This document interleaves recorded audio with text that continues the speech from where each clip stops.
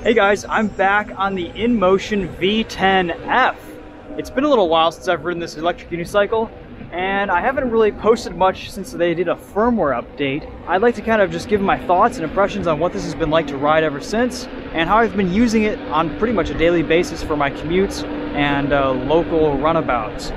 This remains a really, really good wheel to cruise on. I love the top speed, I love the comfort.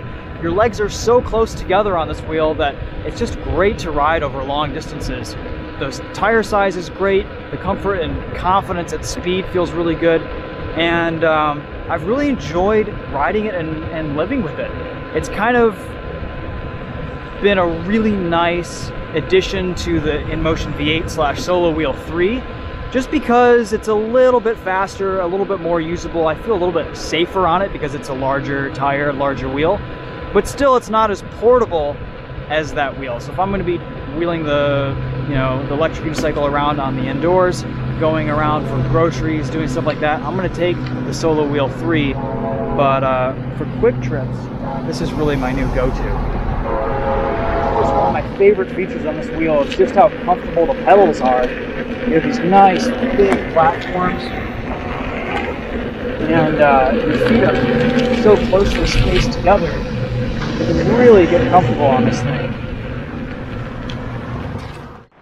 You can't quite hang with traffic like you can on the Gotway MSX. At 25 miles an hour, you have just a slight amount of tilt back, and uh, you can feel it. It's definitely not a super powerful high-speed wheel.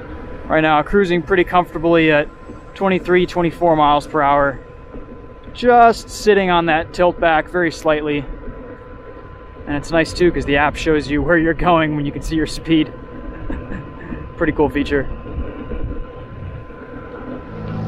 So after the firmware update, I just found this wheel to be way more rideable than it was before. It's a lot smoother, a lot more fluid, maybe a little bit more responsive with quicker acceleration, but um, there just seemed to be a little bit of a delay, a disconnect, a lagginess to the wheel pre-update, and after that, it's pretty much all taken care of. Uh, it feels very natural, very fluid, very smooth to ride and operate, and uh, really no complaints about its rideability.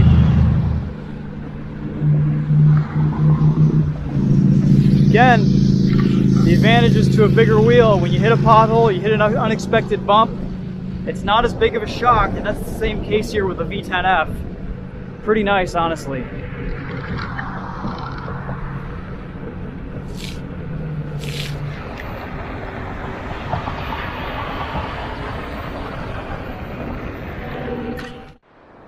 Just paid some of my friends at M1 Concourse a visit. They're getting set up for their display tonight here at the inn at St. John's for the Concours d'Elegance. Pretty cool event, a lot of supercars, a lot of really exciting stuff comes out of the woodwork. We've got another GT here and a Bugatti Veyron with Kip Stewart Motorsports. Pretty awesome. A lot of cool metal here. Oh my god, I know. Hey. How's it going?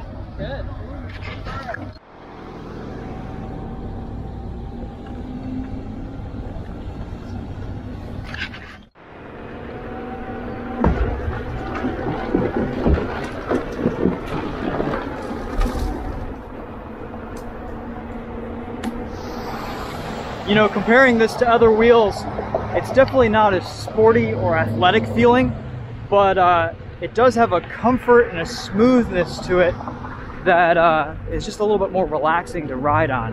You know, you're not going to be charging uh, at trails or really hitting corners super hard in this V10F. It could perform a little bit, but uh, it's no MSX from a performance standpoint, and um, but it does offer a nice comfortable ride. It's you know it's your luxury SUV and uh, that pretty much sums up its character to me for me at least.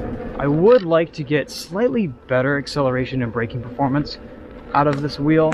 It just feels like if you're really needing to slow down quickly or avoid an obstacle there just isn't the regen or the acceleration to get out of a situation So to sum things up, this has been a pretty enjoyable wheel to ride and own.